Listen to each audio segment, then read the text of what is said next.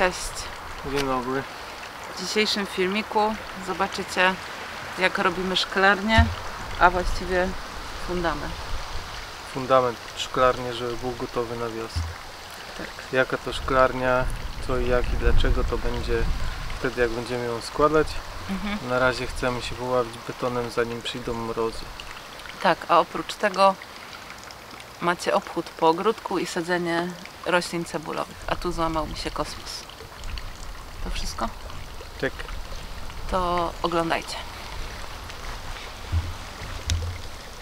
No to zaczynam kolejną inwestycję pod tytułem szklarnia tym razem 2 metry tu i odtąd się będzie zaczynać tutaj nawet było zaznaczone w miarę poprawnie i będzie tam 4 metrowa powinna się kończyć gdzieś tam tutaj chyba dzisiaj za wiele nie zrobię ale już sobie tutaj e, tą darń wybiorę narzucam na kompost a potem za rok będę się dziwił, że sam pioch w kompoście. Do dzieła. Wczoraj prace zostały przerwane przez deszcz, dzisiaj ciąg dalszy. Już pierwszy skarb wykopany. Widać tu jeden z majstrów był z makoszem. Grejpfrutowa. Czy wyrafinowany smak. Dobra, idę po wiadro na śmieci i kopię dalej zatrudniona stażystka do pomocy w kopaniu. Tyle Masz jakiś fetysz na te stażystki, nie? fetysz. No ciągle stażystka i stażystka. Nie nagrywaj mnie, bo brudna jest. To jest twoje stanowisko. Gdzie jesteś brudna? Nigdzie. Tutaj najbardziej. Dziecko samo jadło dzisiaj. Bez śliniaczka i normalnie widelcem, a nie łyżeczką, także trochę się brudzi, ale są postępy. Adrian.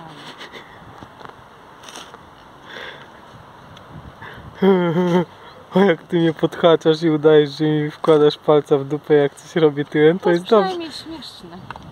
Aha, a twoja brudna bluza nie jest? Nie, Mnie śmieszy. a mnie nie. Także Żartuję też na śmieszne. Także wyciągamy dzisiaj wszystko to, co przypomina ziemię, zostawiamy pioch. Tutaj też najpierw uznałem, że zrobię sam fundament, ale jak już ryję tutaj, to wyryję wszystko, bo tego piochu, co tutaj jest, to też pewnie będę potrzebował trochę, żeby tutaj dosypać pod te kostki, bo nikt tu nie będzie płacił za tyle betonu. Kupiliśmy 8 worków i mam nadzieję, że więcej niż 4 nie będę musiał dokupić.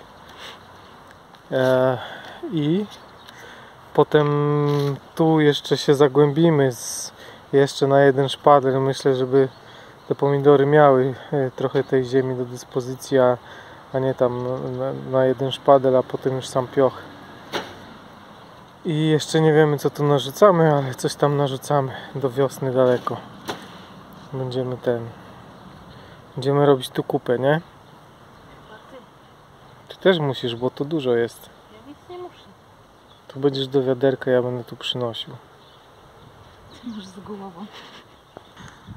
Jednak nie będę musiał tego wygrzebywać tyle co się obawiałem, bo widzę, że tu pod taką cienką warstwą piachu e, jest chyba stara ta wierzchnia warstwa ziemi. Taki tutaj był poziom zanim e, podnieśli działkę po budowie. I ta ziemia jest fajna, ciemna i wygląda mi ok. Czyli zbiorę z, z wierzchu tą darń. Mm. Pioch wykorzystam tutaj przy wmurowywaniu kamieni, a ta ziemia już tam zostanie na to już będę rzucał kompost, obornik i cokolwiek znajdę, co ma szansę tutaj się trochę do wiosny przerobić. Także roboty będzie trochę mniej niż się spodziewałem. Już się bałem, że nie będę miał co z, z tym wszystkim zrobić, ale myślę, że w ten sposób to jakoś się wszystko poskłada w całość. Także na dzisiaj to koniec. Tyle wykopane. Eee, idę po komandowski, bo tutaj skróciłem tą siatkę zacieniającą. No, wcześniej była dłuższa, ale nie chcę, żeby mi tam, żeby była zakopana w ziemi, żeby ten plastik się tam nie siepał. Jest to całkowicie zbędne, także teraz komandowski. Śmieci więcej ciekawych nie znalazłem. Cieszę się, że to tutaj rozkopuję, bo przynajmniej powyciągam tu wszystko z, z ziemi. Niespodzianki i nie będą w tym te pomidory rosły. Także płot to już tutaj pozaciskam bez ekipy filmowej. Ciąg dalszy jutro. No dobrze, także y, obiecam, że pokażę jak pakuję dalię. Y, także te jeszcze nie są do końca przysypane, ale pod spodem jest karton, dookoła włożone są kartonem. Tu jeszcze przysypię je ziemią. To jest pod spodem już są. Widzicie? I przykryję je takim papierem, który tutaj leży jeszcze. I to w dwóch skrzyneczkach zawiozę do rodziców. Także tak to się prezentuje. Mm, Dzięki też, że pisaliście w podpowiedzi mm, pod filmem ostatnim. I e, na pewno będę próbować. Ktoś tam pisał, że można w gazety. Także w te gazety na pewno za rok, w tym roku nie mam. Musi coś takiego. Po prostu dostałam paczkę i używam to, co w tej paczce przyszło, e, żeby też nie kupować specjalnie jakichś tam innych zabezpieczeń, tylko po prostu, żeby było ekologicznie. Musicie mi wybaczyć, bo z tyłu sąsiad kosi trawę, ale ja dzisiaj y, znów sadzę cebulki. To dostałam od mojej mamy. Podzieliłyśmy takie większe mm, opakowanie. To, co ja miałam w sumie z Lidla. Ona też miała. No i tu jeszcze jest 10 narcyzów wielokwiatowych. Mm, gratis. To był z jakiegoś tam, nie wiem, od krokusów chyba. Nieważne. Także dzisiaj y, ciąg dalszy sadzenia cebulek. No i to już chyba będą tak naprawdę ostatnie. I będę je tutaj sadzić w tych elkach. W tamtej pewnie też. Mm, bo tu docelowo ma być y, dużo rzeczy i ma być tak bardzo bujnie.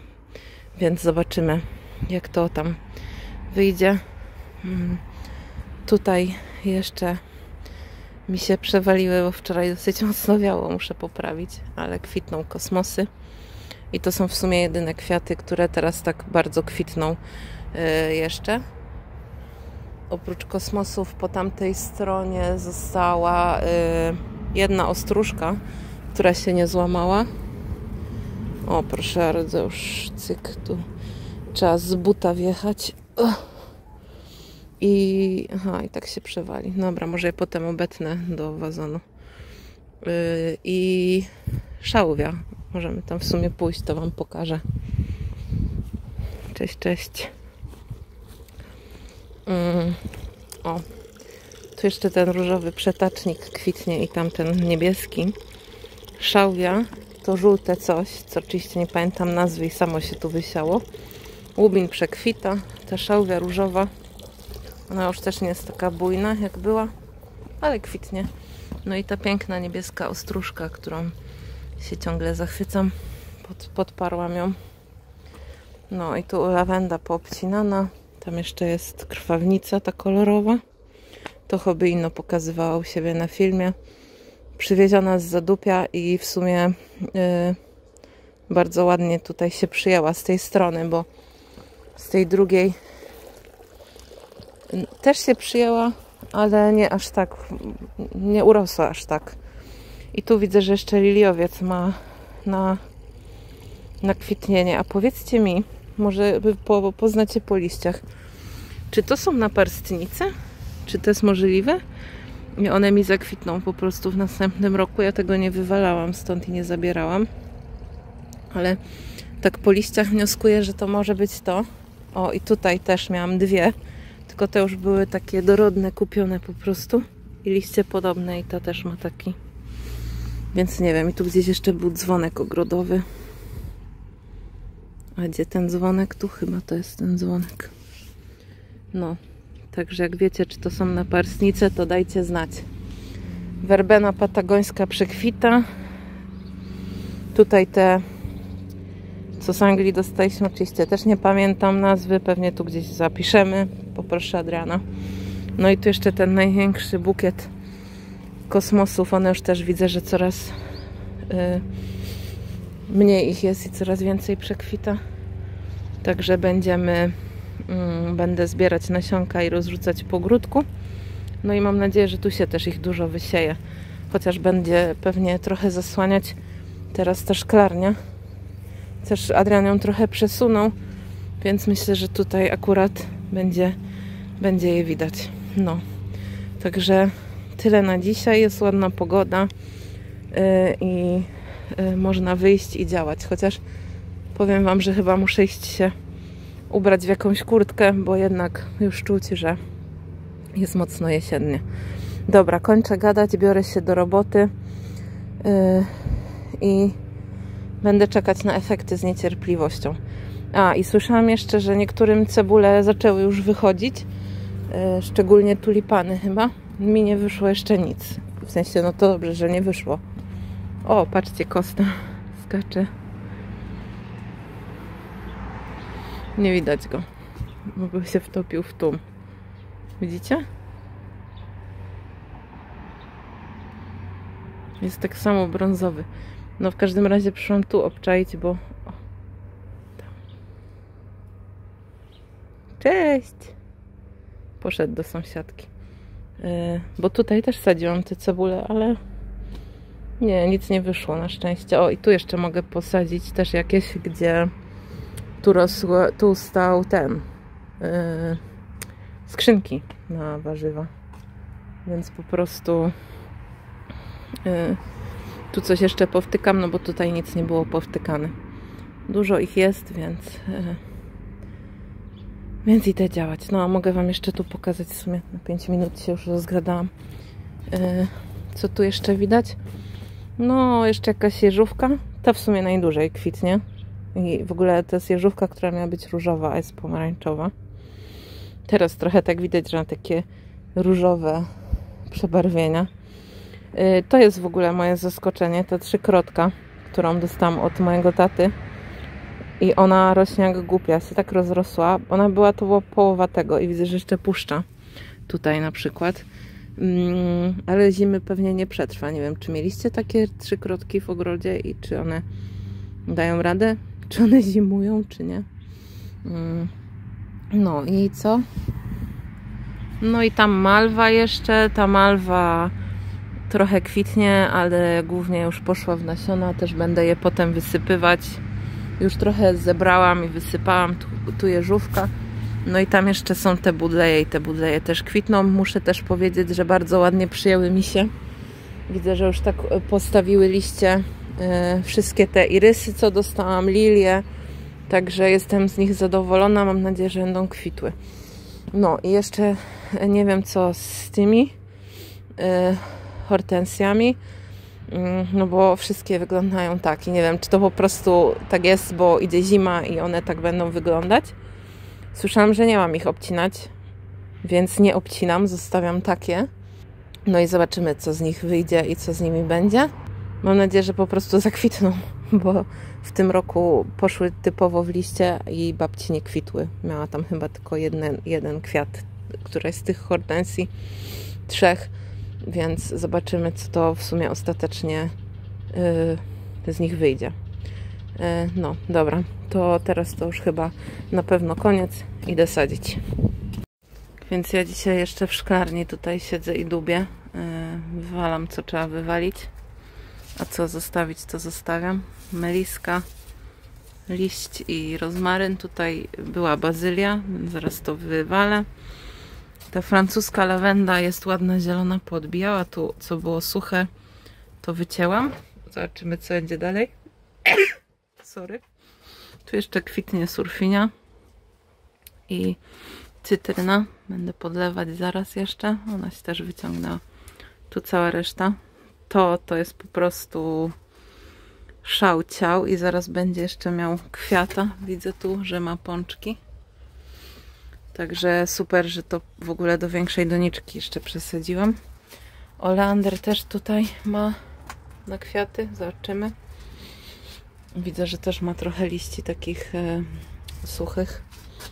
No i bo, Boguśka też daje radę. Wstawiam jej dzisiaj tą podpórkę, żeby się pięła w górę. No i tutaj jeszcze muszę to wszystko ogarnąć, żeby już to jakoś na tą zimę mm, wyglądało. No, także y, robota w re dzisiaj. Jest słoneczko, 10,5 stopnia tu w środku i na dworze zimniej, bo wieje. No, także tak się mają s- sprawy szkolniowe. A i tutaj jeszcze mam szczypior, który marnie wygląda, bo go obsiadłem szyca i ym, muszę doprowadzić go do porządku. Także zaraz to będę też robić.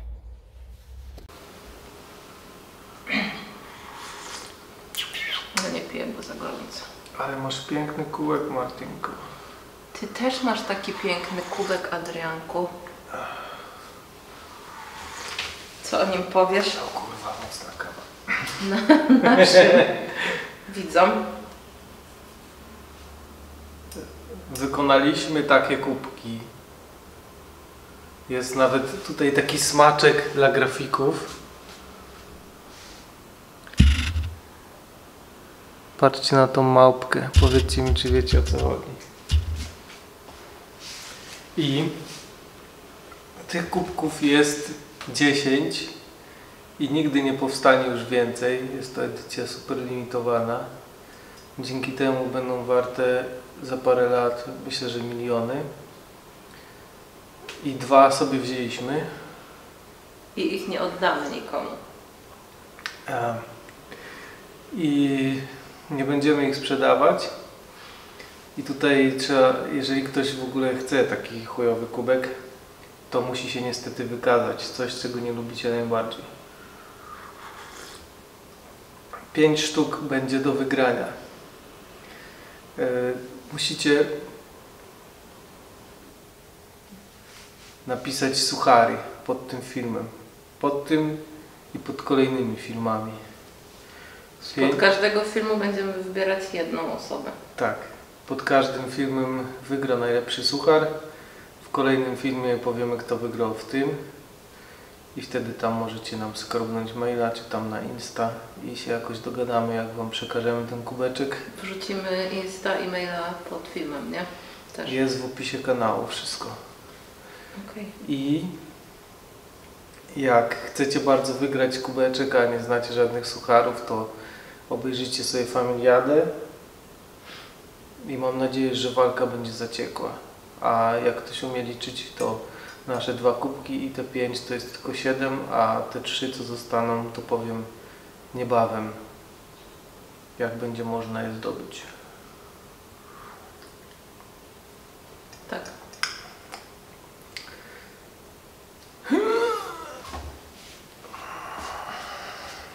Patrzcie, kurwa.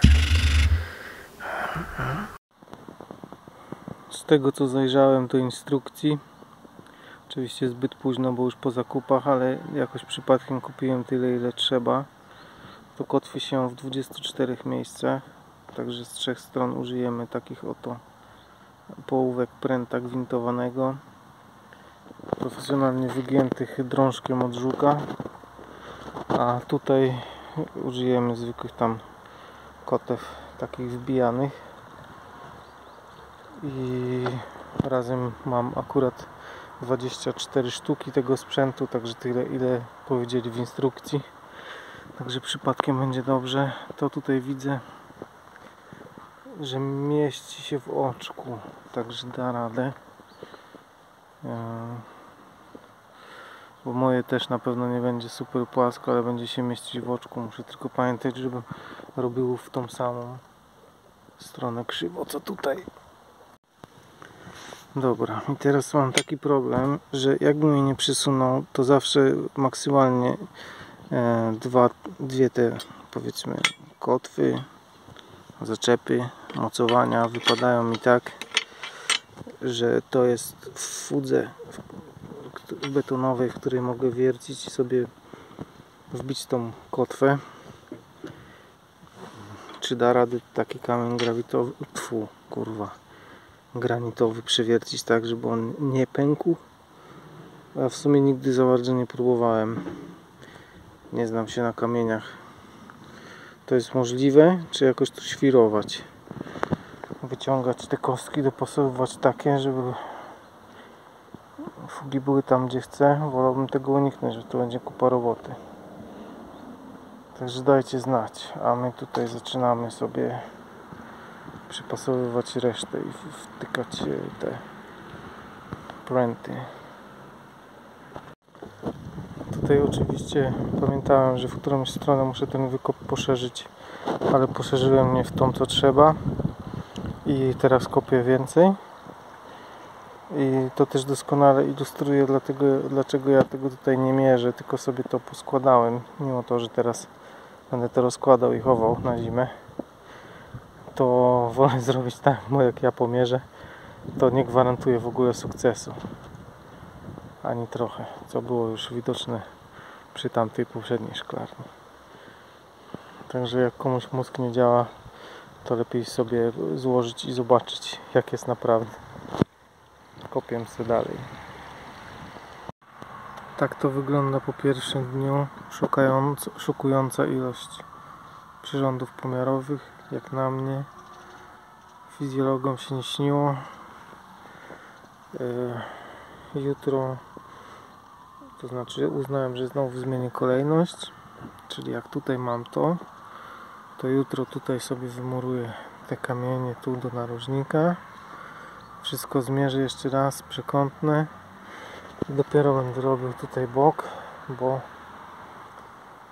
tutaj widziałem, że mi się rozjechało.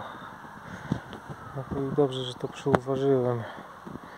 E, Także będę robił powoli, po kolei, po kawałku.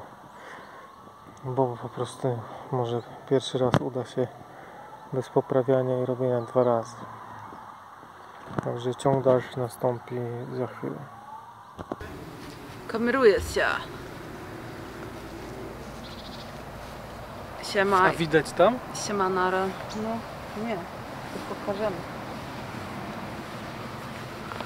Widać, tu widać, o. No dobrze, tak Jak widać to tutaj, wmurowałem aż jeden kamień. Yy, Będę kończył niebawem i może będzie to na następnym filmie Siemana Rapa. Jest zimno, jak widać i wszystko jest nie po naszej myśli. Trzymajcie się ciepło. Pa, pa, pa, pa, pa. Ale to było szybkie zakończenie.